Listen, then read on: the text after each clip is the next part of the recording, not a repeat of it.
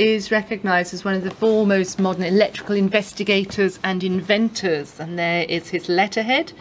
New York City, 1916. Of course, we now know him for the Tesla motor car and those electric, bright charging points for people lucky enough already to have a Tesla car or an electric motor car. This book is a beautiful leather bound, it's a sort of embossed cover, a tipped in illustration of Nikola Tesla himself, rope bindings, that's to strengthen the spine, gilded page edges, satin bookmark. It's a £30 book through bibliophilebooks.com. And all of the great ideas and real inventions about rotating field transformers,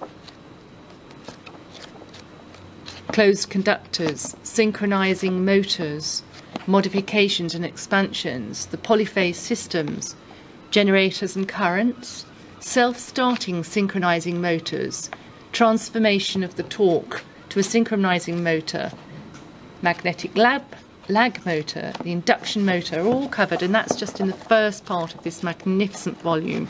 To tell all scientists about this because this is highly collectible, a brand new publication, £30 from bibliophilebooks.com the inventions, researches and writings of Nikola Tesla.